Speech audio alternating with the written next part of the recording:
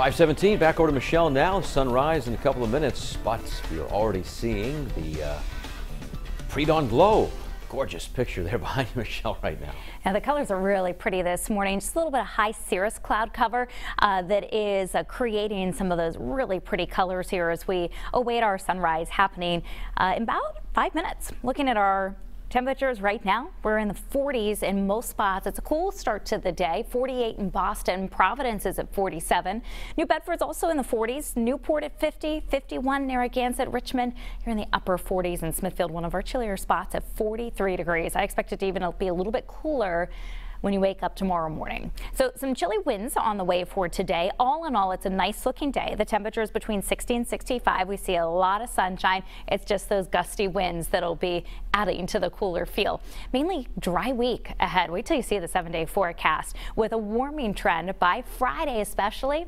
I have our temperatures well into the 70s. Looking at Tropical Storm Arthur right now, we've had some of that high cloud cover clip in our area overnight and early this morning as Arthur makes its uh, closest pass, and it's about 300 miles out to sea and continuing to move to the east right now at 15 miles per hour. Did strengthen a little bit 60 mile per hour sustained winds right now. It's going to turn away from the United States coastline back towards the southeast and pass close to Bermuda by about Thursday evening and Thursday night. At that point, even later today, we expect this to become an extra tropical system. It'll start to lose some of those tropical characteristics and gradually weaken over the next few days. Meanwhile, this morning locally, we've got dry air in place. The temperatures making that quick climb under mostly sunny skies. So by 7 a.m., we're back up above 50 degrees and then near 60 by 11 o'clock in the morning. Normal high this time of year, pushing 70. We're not close to that today, but we will see some lower and possibly even some middle 60s away from the ocean's influence here under that east northeast wind.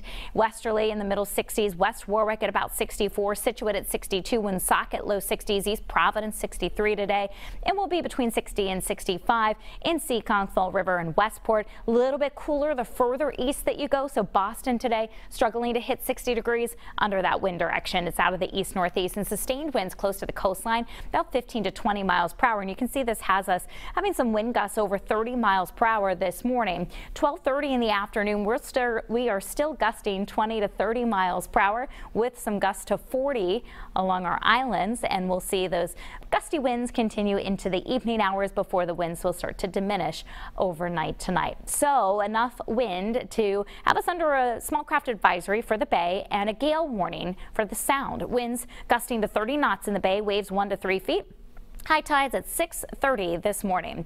So high pressure building in from the north is going to keep us dry over the next few days. Really unsettled pattern here for the Midwest down into the southeastern United States. They've got some flooding concerns, but for us, it's cool and dry air here across New England. So as we look at our forecast for the next couple of days, all the way into and potentially through Memorial Day, we've got a dry stretch of weather. Lower 60s today and again tomorrow. By Thursday, upper 60s. Friday afternoon afternoon's highs in the mid and upper 70s, and it comes with sunshine. So it's a nice kickoff to the long weekend for many folks. Saturday and Sunday highs upper 60s to lower 70s, and right now Memorial Day looks dry and near 70 degrees.